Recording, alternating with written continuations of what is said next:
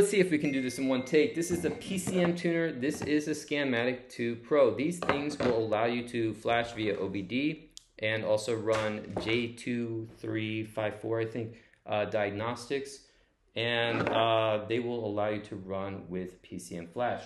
They will also allow you, unlike a uh, open port, this will allow you to bench flash, all right? And while I have this up, this is a clone, okay? This is going to be about $100 for US stock.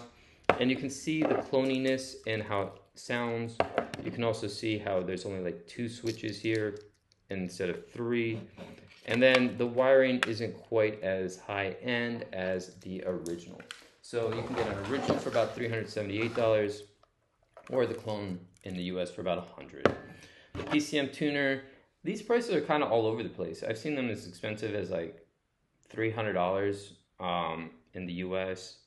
and I'm not sure this is worth it. I mean, uh, to me, you can see on the back they both even have the same marking as 2.21, uh, 0.22. I mean, these are this is going to be recognized in your computer as a Scanmatik 2 this is a Scanmatik too. So they put this inside of this and added like a help online help thing, right? And they kind of, you know, have a little bit of a different uh, layout. Like you have the power here instead of through the cables on the Scanmatik.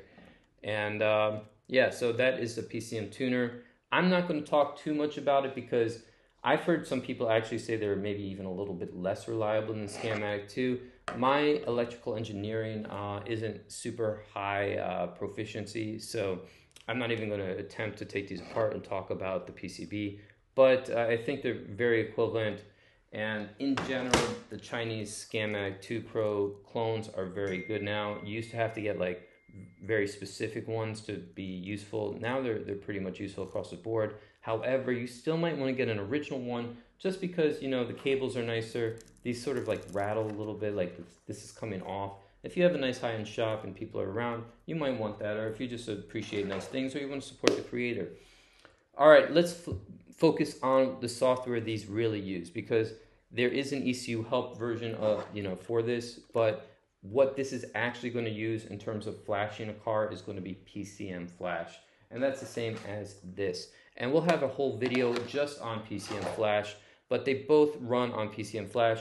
They're going to be different protocols often for bench versus OBD, so make sure you're aware of that. For example, Mercedes will have a different bench protocol often than a OBD protocol. So just be aware of that. It you know, you might have to look at exactly what you want.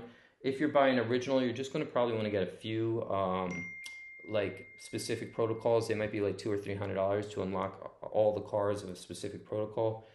Sometimes they don't have the files on the internet um, for virtual read. Like if you're trying to OBD something off of a PCM flash, they might not have the uh, you know the original software on the hard, on the server. But what you can do is you can bench flash it, and then you can send it to PCM Flash, and they will upload the original for that. So if you want to do that, please do help out the community. And then let us focus on a little bit about the clone version of uh, the PCM Flash. PCM Flash comes in two, it is an original and a clone. The only reason why we're talking about this in this video is because this is a clone and this is like a clone of a clone, I guess.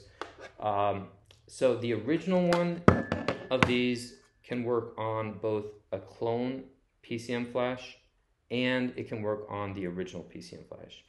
So the clone can work on the original and the hacked. The original can work on the hacked and the clone. So you'll see people do that. Um, maybe they just you know want to have an original PCM flash, uh, you know, for better support or you know newer cards or whatever, and they'll run uh, you know like a clone of this. And sometimes you'll see vice versa. People might need uh, like a clone of PCM flash for like a car they don't often use. You know, maybe for the cars they use often, they'll have the protocols bought, uh, but you know they'll just have like a backup. You can use an original schematic with the clone software. So I just wanted to go over those things. If you want to help, uh, if you want help with these, uh, feel free to you know drop a question below if you want to know where to buy them, how to buy them. Check out tunedmercedes.com. We do have a lot of tuning tools and we are based in the United States, and we can provide some support with them. Uh, you know, we can't teach you how to tune if you just buy one of these, but we do have tuning classes and tuning like tutoring, tutoring support. So you know, feel free to you know inquire about that if you'd like to. So thank you guys for watching. Um, these are very very important tools. You probably will want like a Kess and maybe a KT200 or a Fox Flash and we'll talk about like auto tuner too. So we'll go through each level and we'll just keep bringing you some tool reviews on tuning. All right, guys, thanks.